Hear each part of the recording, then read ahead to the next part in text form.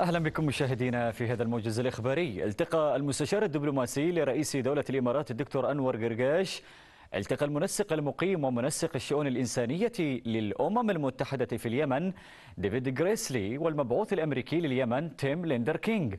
وأكد قرقاش دعم دولة الإمارات لكافة الجهود الرامية إلى التوصل لتسوية سياسية شاملة تضم كافة الأطراف اليمنية لضمان ترسيخ الاستقرار والسلام وبما ينعكس على ازدهار وتنمية اليمن. ورحب بالتطورات الأخيرة المتعلقة بتشكيل مجلس القيادة الرئاسي اليمني آملا أن تساهم الخطوة في دفع جهود السلام عبر حوار جدي يناقش كافة القضايا المتعلقة بالشأن اليمني. شدد رئيس المجلس الانتقالي الجنوبي نائب رئيس مجلس القيادة الرئاسي عيدروس قاسم الزبيدي على أهمية حشد الجهود واستنفار الطاقات لإنعاش الوضع الاقتصادي وتوفير الخدمات للمواطنين. جاء ذلك لدى لقائه بعض من وزراء حكومة المناصفة. وأكد الزبيدي على أن المرحلة تتطلب مضاعفة الجهود من قبل الحكومة لتنفيذ إصلاحات عميقة يلمس أثرها المواطن الذي طحنته الحرب والأزمات المتلاحقة. من جانبهم أكد الوزراء استعدادهم أو استعدادهم لمضاعفة الجهود خلال المرحلة القادمة وتنفيذ المهام الموكلة إليهم من قبل قيادة المجلس الرئاسي.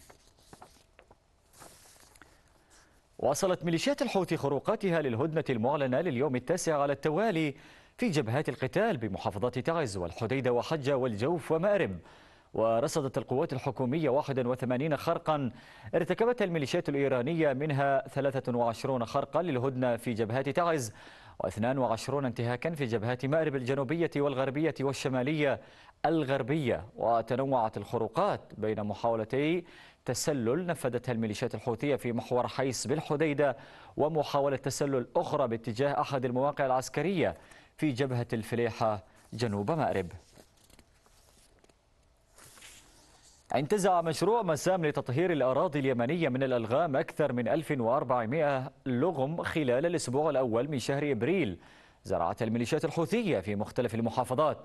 وذكر المركز في بيان له أن عدد الألغام المنزوعة منذ بداية مشروع مسام حتى الآن بلغت 330,981 لغما زرعت الميليشيات الحوثية بعشوائية في مختلف المحافظات لحصد المزيد من الضحايا الأبرياء من الأطفال والنساء وكبار السن.